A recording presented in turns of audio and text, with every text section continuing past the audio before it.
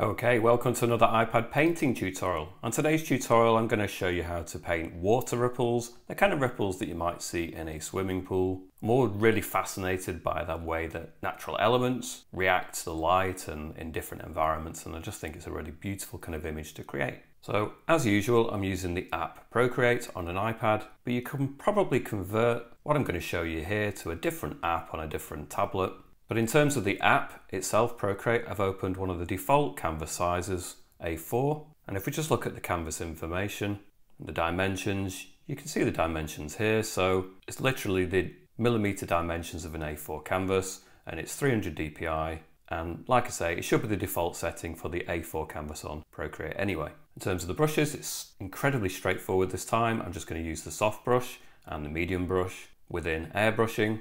Now don't mistake those for ones that are lower down. You have some here that are lower down that are called soft airbrush and medium airbrush, but these are just called the soft brush and the medium brush within airbrushing. And then in terms of the colours, I have pre-selected some colours, but again, it's super straightforward. I've only selected four different colours, so just these four colours here. Each of these colours has what's called a hexadecimal code attached to it. Each of these codes are in the video description, but there's also a link that takes you to my Patreon page and you can download the colour file that contains these four colours as well. You're also going to find links to my Instagram where you can tag me if you have a go at this tutorial and also a Facebook group that you can become a member of and we've got over 35,000 members, a great community there so check out the links too. And with all that said and done, let's get started. So the first thing I'm going to do on layer one is go to my colours, my first colour here, and I'm just going to go to the colour in the corner in that little circle. I'm going to drag and flood fill the whole canvas. The next thing I'm going to do, I'm going to create a new layer, go to my colours, select the second colour, go to my medium brush, put it at the lower end of 2% and about 70% opacity.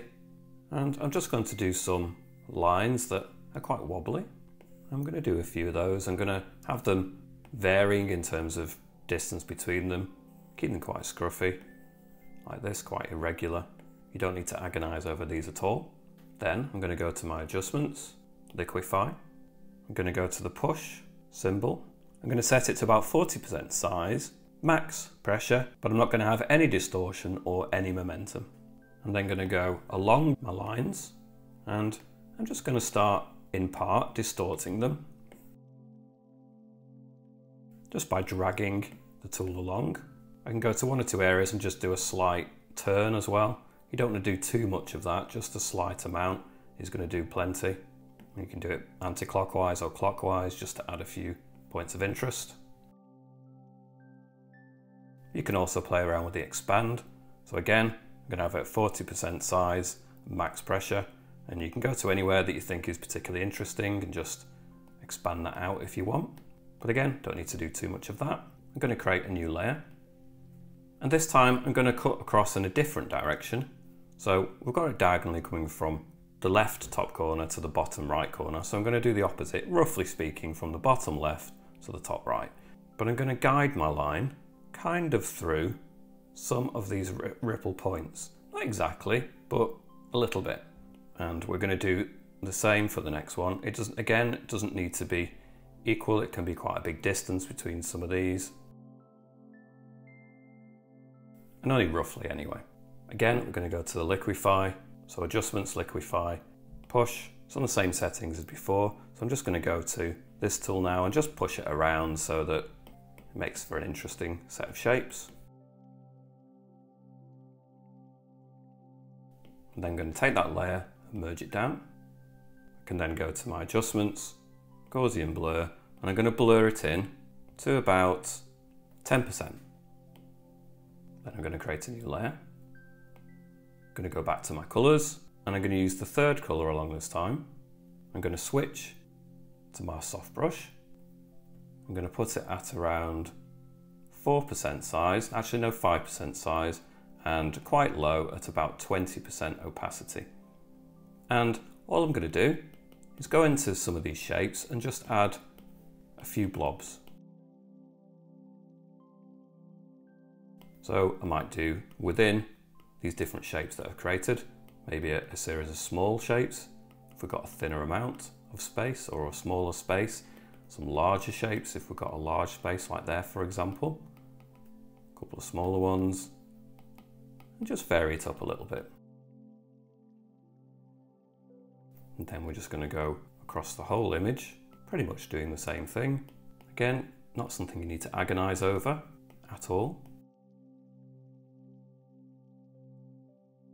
Just change up the size and the, the shapes a little bit. So sometimes, like I say, you can have a really nice larger shape go over a few times and then other times you can have a series of smaller shapes.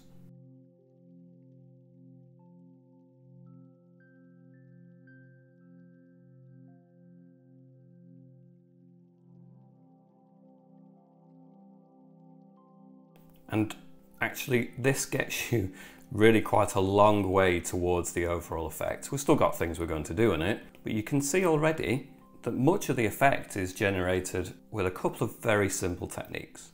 We are going to push this further. We want to really bring out some nice qualities there.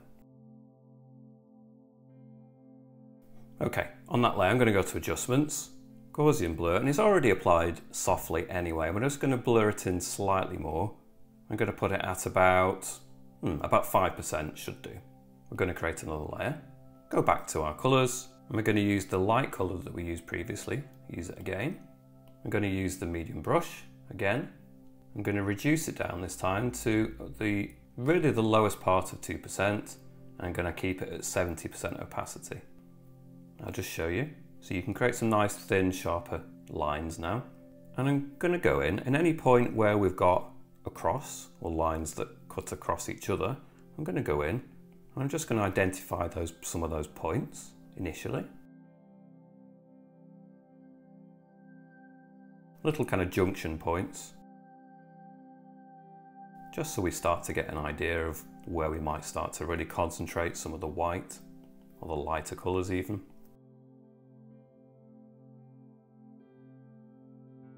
And then I'm just going to turn the opacity down even further to about 40%. And I'm just lightly now going to start bringing in some sharper lines to areas coming out from the junction points. And I'm going to have it really concentrated in that point where they do reach a junction, but then they can fizzle out and fade out perhaps a little bit as they go further along. Now you don't need to be overly precious about this either. You can actually move quite quickly with this. You don't want to go all the way along, you're just going to have it coming out so far and then fizzling out.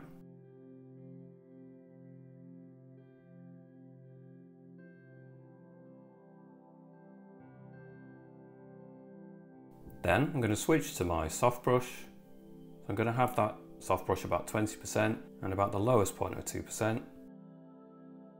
And I'm again just going to start going round the edges of any of these shapes now. So we've got some areas perhaps where we've got quite a big shape and we can double line it to go around the outside of both of those points. In fact, I'm going to turn the opacity up a little bit further, so about 40% again. And I'm going to use that just to perhaps go around the edges when we've got like a large pale area. We can just go around the outlines a little bit. Doesn't matter if they then collide, join up in areas like this. Here's another shape. I'm just going to extend those lines and go around the outer edge in places. You'd have to do that everywhere, but really going to get a variety of marks now, but I'm just showing you the kind of things that you might want to apply in places. And what you'll notice too is that there are almost the hints of extra lines that you could add in in between the dark blobs. So again, pressing lightly, you can just start to feed in a hint here and there, maybe have it joining up.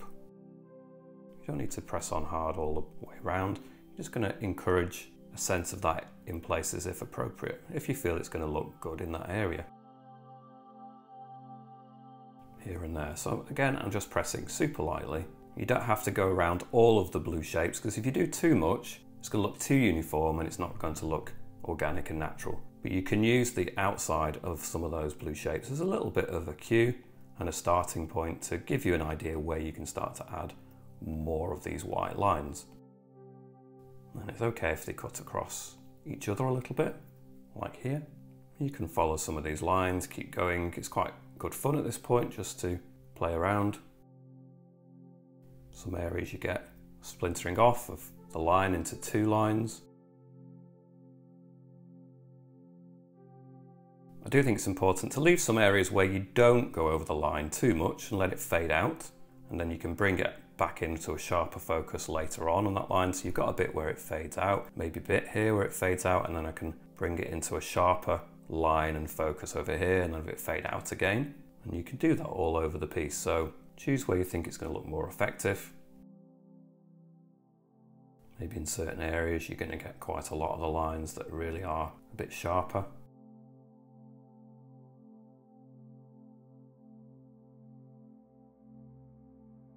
If you want to do some of these super faint lines, you can turn it really low to about 15%. And again, for some of these internal areas, where you're just having it fading in and out, you can just use it at the lower opacity. So you're getting hints of it, but not too much. And again, you can just see suggestions around some of these blue shapes. And it gives you a really good cue and starting point to figure out where to put some of your organic lines and shapes.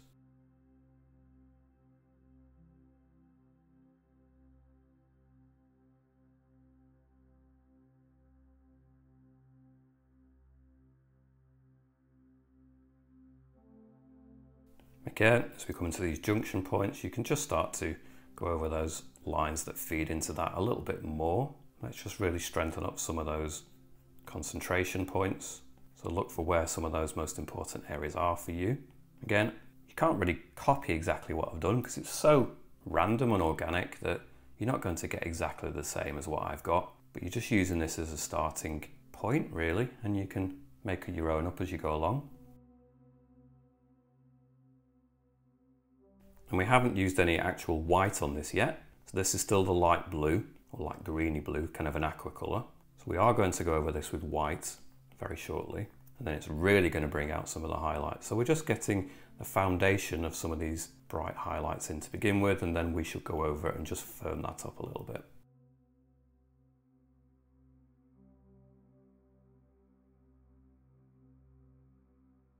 Just a couple more over this side, it looks a bit empty.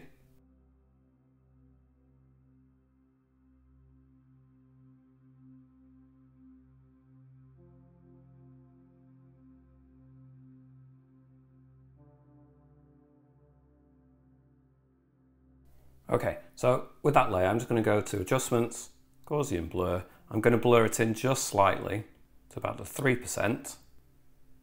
Then I'm going to create another layer. I'm then going to go along to my white. So really we're adding the brightest points in it now.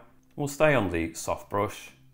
We'll stay on the lowest part at 2% and we'll build it up subtly. So we will start with 20%, but it's still going to be brought up gradually and then I can just go to the points where I think it's going to be brightest. So certainly some of these junction points, I can imagine a real concentration of light and then we've got a really nice shape here that I feel like I just want to highlight part of it.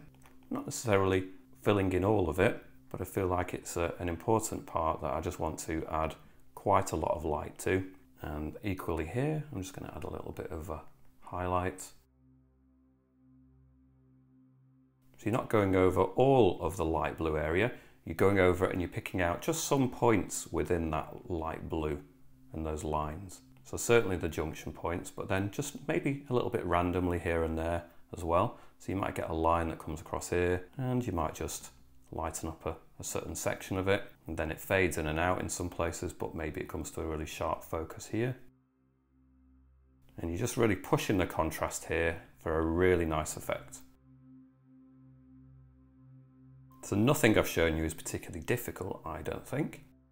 Might take a little bit of practice just to get the right kind of balance, but each step kind of suggests what you should do for the next one. So I'm just picking out some parts of some of these lines for a nice concentration, adding in some of the brightest whites, especially on sharp corners and little junction points already heading towards a lighter point in areas anyway, so I can just go in there with a white and further push that. Some of the lines can have a really concentrated white on it as well in areas. Vary it up a little bit.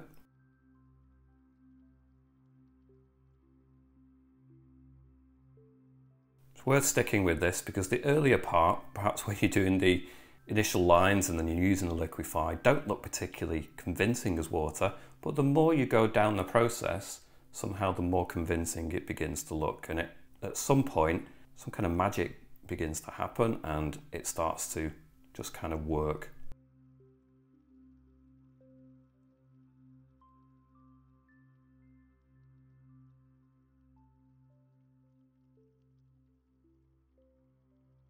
Again, you don't need to add too much of this. So it's on a separate layer. So if you feel like at any point you've really gone overboard and you've added too much, then you can always go in with the eraser and just remove bits, perhaps where you've done too much. So initially just go for it, see how it looks, and then you can always modify it with the eraser if need be. So I'm really just trying to create contrast. So in order to create that sense of bright white and shine, then you need to have bits where it doesn't exist as well. So it's the combination, it's the contrast between the two.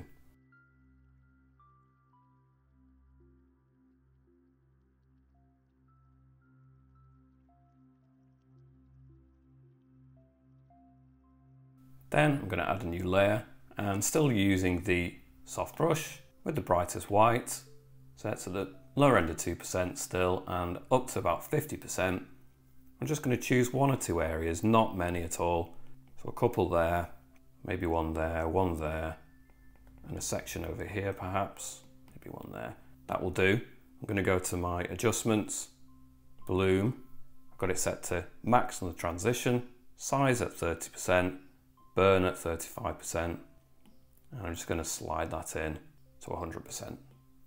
And it's subtle, but it just sends a bit more of a glow in one or two of these areas, as you can see. It's very subtle though. Okay, so I'm happy with that overall effect. But if you wanted to push the contrast a little bit further, then you can also do that. So let's go back a couple of layers. We've got the layer that had the blue blob shapes that we were adding. So we can go to the hue, saturation and brightness. I'm going to turn the brightness down to about 40%. And you can see already that really pushes the contrast. I can go to the background, do the same again, just to balance it out a little bit better. Put that down, maybe somewhere around the 45. And there's an argument that that works as well. And again, maybe something like layer 4, we can go to the N symbol, play around with different layers. We certainly don't want it all the way down, but we could turn that to 80%. Maybe layer 2, could turn that down to 80%, and then you're getting some nice contrast between those different areas now. Okay, I hope that's been helpful. If you've enjoyed following along, make sure to subscribe, hit the bell notification, and check out all my links in the video description. Thanks for watching, see you soon.